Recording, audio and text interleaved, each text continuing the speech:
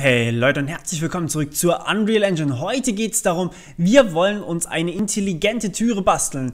Und zwar, warum wollen wir das machen? Ähm, wir haben doch hier schon mal so eine intelligente Türe. Naja, wenn wir hier auf Play drücken, wenn wir hier reinlaufen, dann schwingt diese Türe auf. Das ist zwar ganz schön und gut, aber wenn wir das Ganze jetzt hier für diese Türe auch noch machen wollen, dann müssen wir das Ganze hier nochmal coden. Also ich zeige euch nochmal ganz kurz, was wir hier gemacht haben. Ähm, wir hatten hier für die Türe sowas gemacht. Ah, apropos, ähm, diese Kommentare, die kann man machen, indem man alles markiert, ups, was man markieren möchte. Und dann einfach C drückt und schon kann man hier einen Kommentar dafür packen. Wenn man das zweimal macht, dann kriegt man, wie ihr hier seht, einen Kommentar um das Kommentar drumherum. Das heißt, das kann man so oft machen, wie man möchte. Einfach nur C, keine Steuerung oder sowas.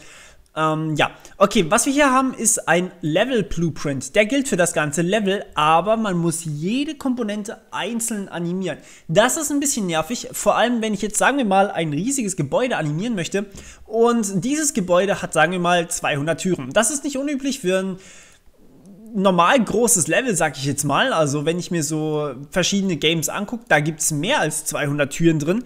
Und wenn ich jedes Mal für jede Türe diesen Effekt hier schreiben müsste, dann würde ich irgendwann wahnsinnig werden. Also ich weiß nicht, wie es euch geht, aber ich möchte es nicht machen. Kostet ja auch Zeit und Geld. Gut, was man stattdessen macht, ist folgendes. Man baut dieses ganze Ding einmal und dann muss man es nur noch einfach reinziehen als ganz normale Türe und hat schon alles, was man braucht. Das ist sozusagen der Trick dabei. Okay, Jetzt fangen wir mal an, dieses Ding hier zu bauen. Wir wollen uns jetzt um diese Türe hier kümmern. Dasselbe könnt ihr natürlich auch mit dem Licht machen. Das wird dann eure Übung sein.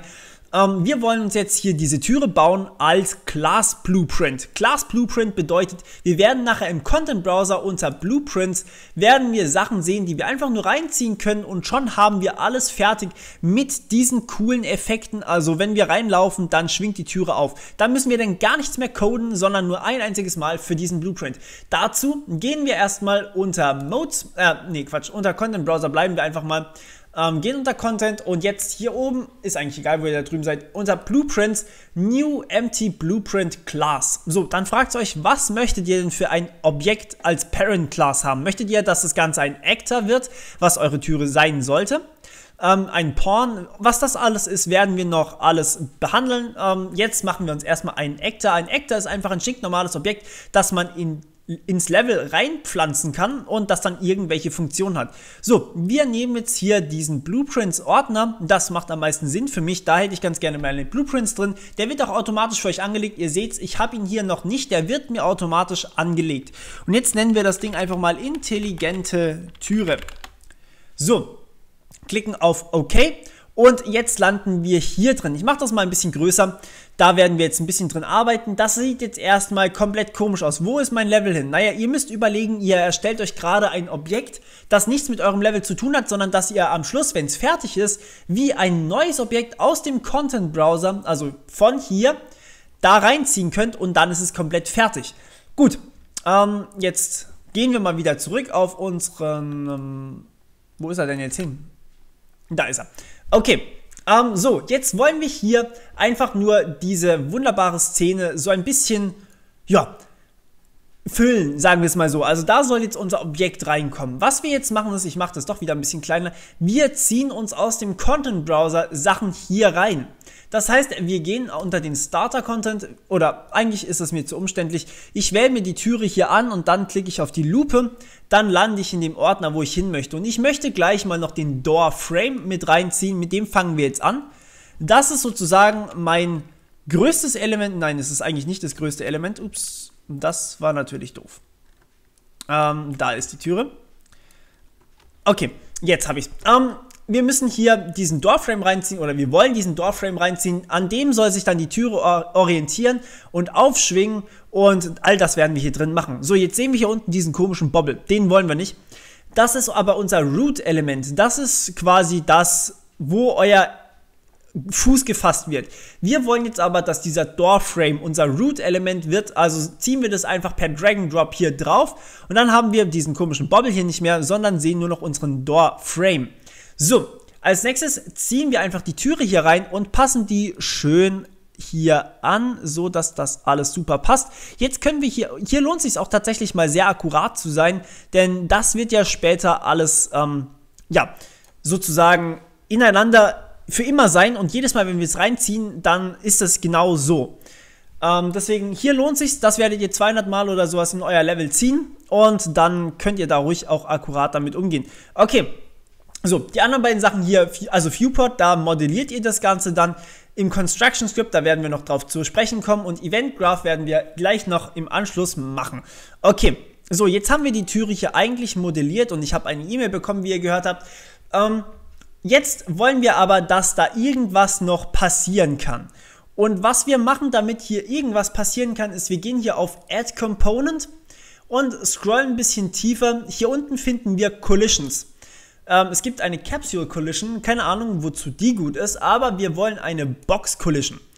Eine Box Collision bringt uns viel, weil wir genau, wenn wir in dieser Box drin stehen, dann wollen wir, dass es ausgelöst wird. So, und jetzt passen wir das so ungefähr an, dass wir als vor der Türe stehen definieren können. Also wenn wir hier reinlaufen, dann soll die Tür für uns aufschwingen. Ich mache das mal noch ein bisschen größer. So, jetzt sieht es schon ganz gut aus. Das haben wir in etwa auch hier drüben gemacht. Nur wenn wir es nach der Art und Weise hier machen, dann müssen wir es jedes Mal machen. Wenn wir es so machen, müssen wir es nur ein einziges Mal insgesamt machen. Das ist das Coole dran. Okay, ähm, achtet darauf, hier ist schon alles automatisch auf Movable gestellt, weil das ganze Objekt hier oder Unreal denkt, wenn ihr einen Blueprint erstellt, dann muss natürlich auch irgendwelche Funktionalität dahinter sein, sonst hättet ihr gleich einfach einen Static Mesh reinziehen können, dann wäre es das gewesen. Was ja auch irgendwie korrekt ist. Okay, jetzt gehen wir mal auf den Event Graph und hier sehen wir schon, ah, wir sind wieder in unserem Blueprint. Das kennen wir so ein bisschen, das hier war irgendwie so ein bisschen ungewohnt, aber das ist quasi wie das Objekt als eins aussehen soll. Hier sind quasi mehrere Objekte auf einmal drin. Brauchen wir aber alles nicht. Oder wollen wir natürlich haben, aber brauchen wir uns nicht weiter drum kümmern. Das hier mache ich erstmal weg. Brauchen wir eigentlich auch nicht so. Jetzt, was wir haben wollen, ist, sobald wir ähm, in diese Triggerbox, ups, wir sehen das ganze Ding noch nicht, sobald wir in diese Triggerbox hier reinlaufen, in die, die ich jetzt gerade markiert habe, dann soll die Türe aufschwingen. Okay, also gehen wir hierher. Und jetzt können wir natürlich hier nichts auswählen. Das wäre ein kompletter Fail, wenn wir hier was auswählen.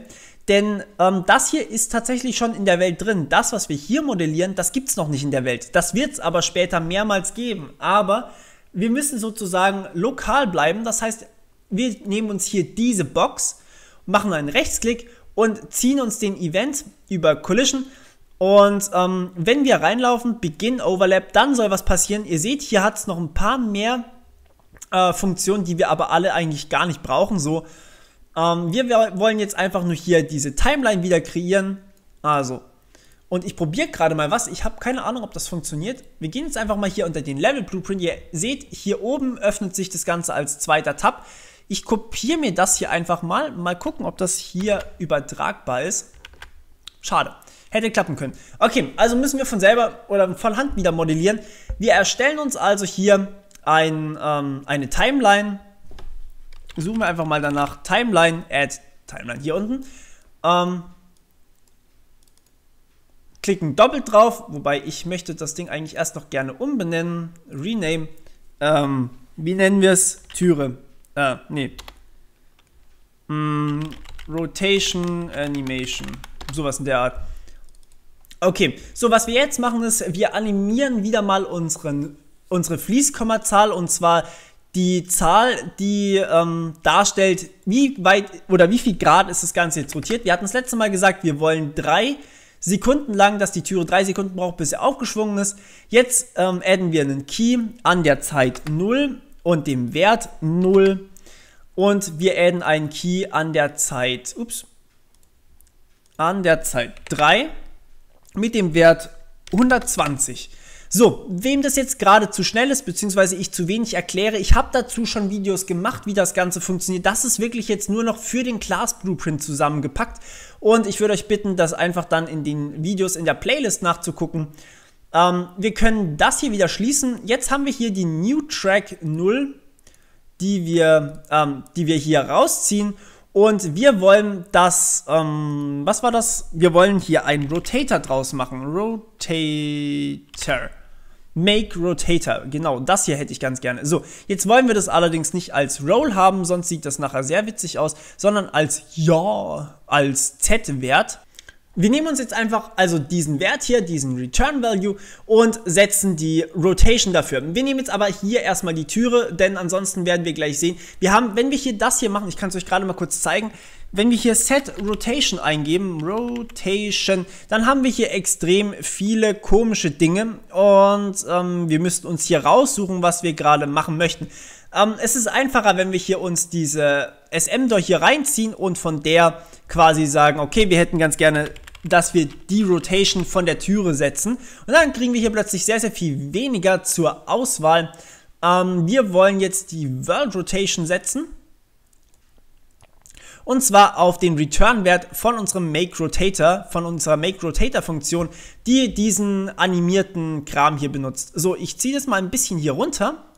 Denn das hier soll ja jedes Mal ausgeführt werden, ups, wenn wir diese, wenn diese Rotation Animation äh, ein neues Update liefert, sprich bei jedem Frame soll dieses äh, Set World Rotation aufgerufen werden und diese Rotation Animation soll executed werden, ähm, wenn unsere Box overlappt. So, und natürlich Reverse, das Ganze hier über Collision, Add-on Component and Overlap, also quasi rückwärts ausgeführt, Reverse, wenn diese, ähm, der Overlap zu Ende ist. So, das ist jetzt wieder mal meine Animation von der Türe. So, und wenn wir soweit sind, dann können wir hier einfach auf Compile klicken. Schon ist alles quasi fertig und ihr könnt hier auf... Achso, ja, wir haben noch kein Objekt davon kreiert. Wir können jetzt einfach mal hier auf Save klicken und dann können wir in unserem Content Browser hier unter Content Blueprints finden wir unsere intelligente Türe. Die stelle ich jetzt einfach wie ein normales Objekt hier per Drag and Drop rein und ihr seht, ähm, das hier außen ist unsere Triggerbox. Also da sieht man dann auch, was für eine Triggerbox wir haben. Und das hier ist der Doorframe und das innen drin ist die Türe, die quasi aufschwingen kann. So, jetzt probieren wir das einfach mal aus. Wenn wir hier auf Play drücken, was dann passiert. Wir schweben hier mal so an der Seite vorbei. Und ihr seht, die Türe schwingt auf und sie schwingt wieder zu. Und das Tolle ist, ich muss das jetzt nicht, äh, ja gut, die Türe schwingt auch auf, aber das wollten wir eigentlich gerade nicht. Ähm, und das Tolle ist, ich muss das jetzt nicht nochmal jedes Mal neu animieren, sondern wenn ich jetzt einfach noch eine Türe brauche, dann ziehe ich mir hier noch eine Türe und noch eine Türe und noch eine.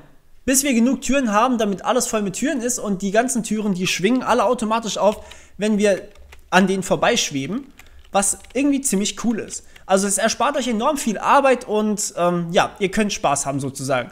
Gut, das war's von meiner Seite wieder. Ich hoffe, es hat euch gefallen und wir hören uns beim nächsten Mal. Bis dann. Ciao.